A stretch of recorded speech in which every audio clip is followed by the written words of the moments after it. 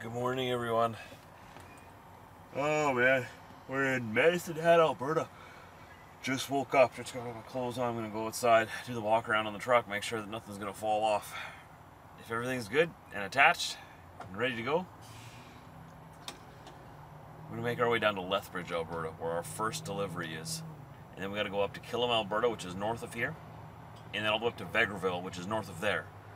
I'm not sure if I'm gonna get all of them done today. I'm gonna try. But business hours are only so long, and the road is also so long. So we'll we'll see what happens. Thanks for joining me. Don't forget to hit that subscribe button if you're new here. We make new videos all the time. You can go to my playlists on my page. You can find all my past videos. There's almost 3,000 of them.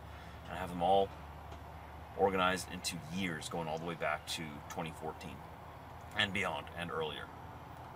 So if you want to, go check that out. But enjoy the video. Let's get going.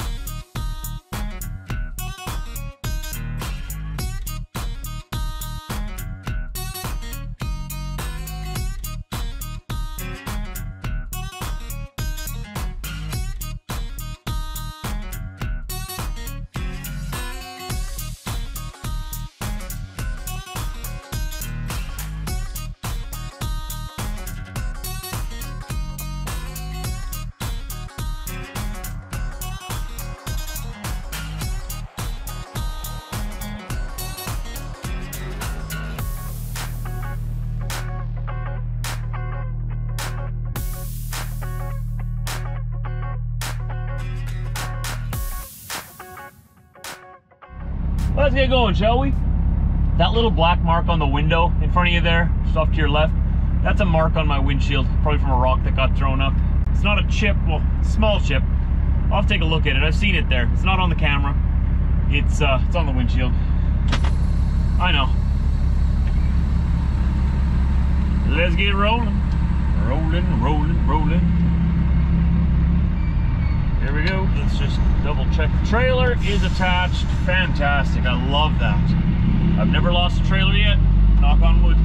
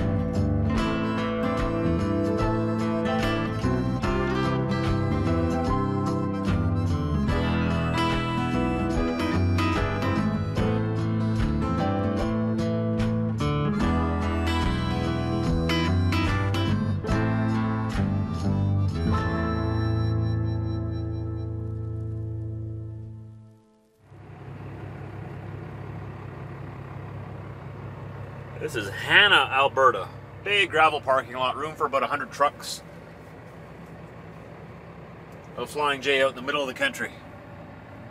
All just prairies surrounding us everywhere, every direction. You can see in the mirror there as well, behind us too. Nice and tight, chains are tight, straps are tight. Everything's still nice and tight. So I'm gonna go another about hour and 15 minutes or so up the road. My next delivery is in Killam, Alberta. K-I-L-L-A-M. And I'm not gonna make it there today. That's why I'm sort of taking my time now. I was gonna get there at 5:30, and I called them. I said, "Hey, would you mind? Uh, do you want to stick around and unload me today yet?" Couldn't convince them. So my superior persuasion skills uh, need some maintenance. They need they need to need to work on it a bit again. Whatever, they want to go home. I get it. I'm not going to sit there and try and push it. I just ask nicely. That's what I mean. When I say superior persuasion skills, I just ask nicely. And uh, the answer is no, the answer is no. And the answer was no. So we're going to wait till tomorrow morning and unload at 8 a.m. tomorrow morning. Then we got to run up to Vegreville, which is a little bit north of there yet. Unload this mower that I have chained down right here, and then the trailer will be empty. And then I'm headed up to uh, Nisku, which is south of Edmonton. I have one piece to pick up there that I'm going to put up here on my step at the front of my trailer. And from there, we head into Saskatchewan. I forget the town name that we're going to, but we're picking up like a giant 40 foot culvert. It's going to go on the bottom here. But I'll be able to unload them both uh, this week yet. And then I'll head home for a couple days. So it was a nice trip out here to Alberta. The weather's beautiful today. It's 26 Celsius outside, so I'm guessing that's got to be what? 70s? 70 Fahrenheit, somewhere in there. It's, it's, not hot. It's the perfect temperature. It's not too hot. It's not too cool. It's just perfect. I, I'm got to be careful because I'm starting to tan, and my farmer tan is already starting. I always wear short sleeve shirts, and then my arms end up like I get really brown in the sun. My skin goes really brown. I only burn once, and after that, my skin just protects me from the sun.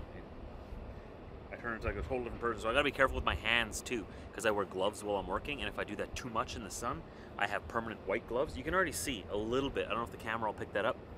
A little bit of a tan line there.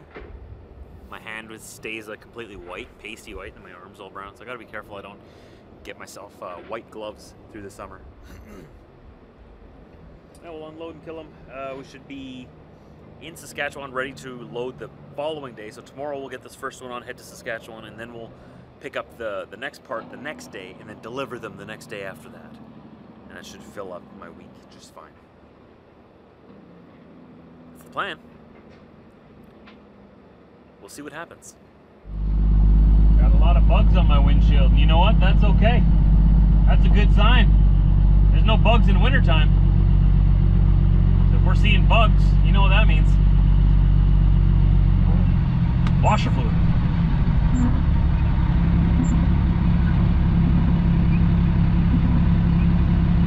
I think I've got winter stuff in there still. It's not going to eat at the bugs as well.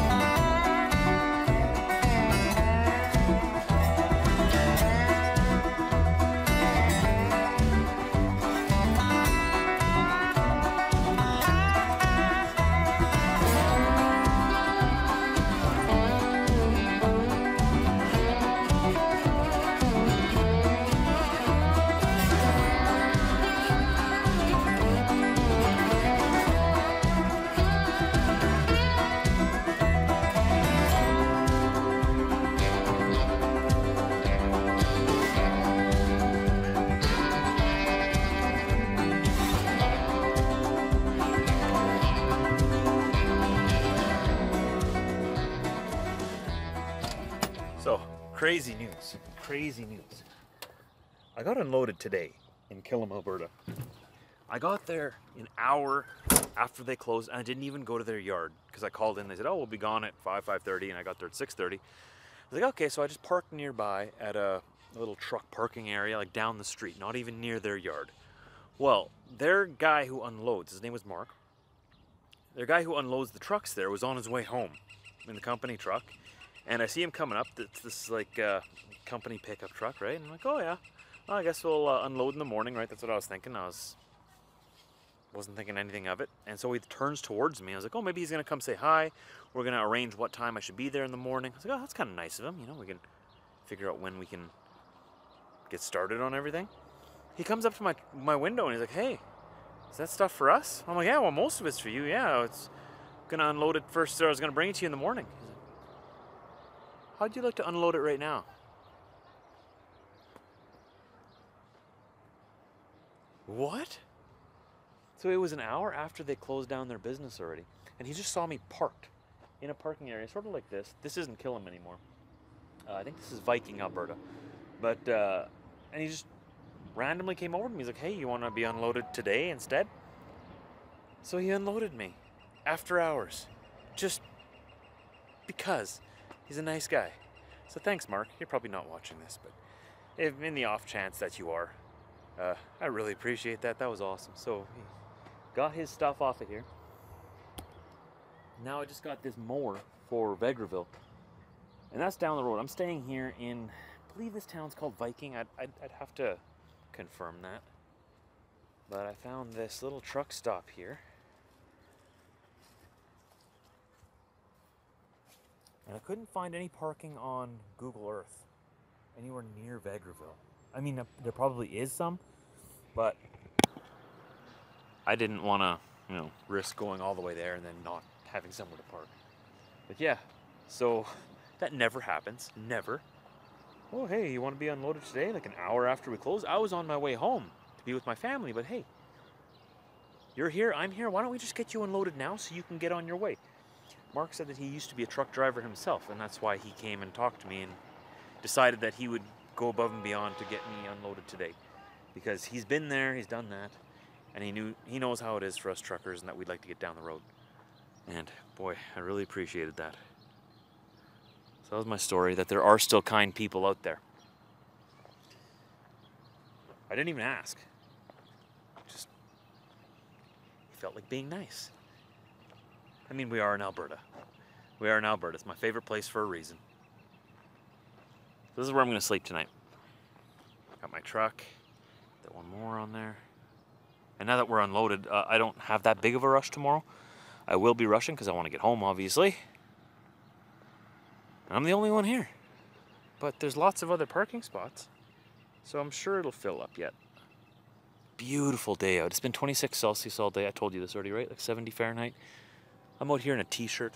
This is actually my first time this season outside without a jacket or a sweater on. Just a t-shirt. And I'm already working on my tan. So that was a happy end to the day.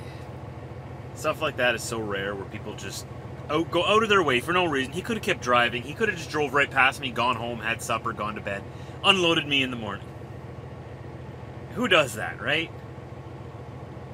Albertans. Canadians, I should say Canadians. We're, we're supposed to be known for our politeness and our kindness, right? I don't know where that came from because I know I, I know there's a lot of rude Canadians out there. I meet them all the time on the road. They are very uh, efficient at uh, giving you signs that let you know that they are very unimpressed with your existence when they feel that you are in their way. But there are a lot of good ones out there too. And Mark, he was one of them. So I'm happy. One step ahead for tomorrow. Now I just have to go unload that mower, grab that one piece, and head into Saskatchewan. And then the next day we load. So it'll be a much easier day tomorrow, and I'll get home like, oh, probably like, well, probably four to five hours earlier at the end of this trip. Right on. So thanks for joining me today, everybody. Thanks for hanging out. Uh, I hope that put you in a good mood too. It's uh, nice to hear some good news every now and then and not just hear all the bad. So there are good people out there, and you know what? I'm going to try to be one of them too, and I encourage you, you know, be one of those good people out there. Do something kind for someone that they're just not expecting. It's not that hard. Because people are never expecting kindness. How, are you ever expecting someone you don't know to be kind to you and be nice to you? I know I'm not. It just doesn't happen. So when it does happen, it's super special. Consider maybe doing that for someone in uh, your own life in the next few days, if you if you can, if you have the ability to. Really spreads happiness. I'll talk to you tomorrow. Don't forget to subscribe, hit the like button, leave me a comment down below to help with all the algorithms. It's the best thing you can do uh, to help me out. And we'll see you later.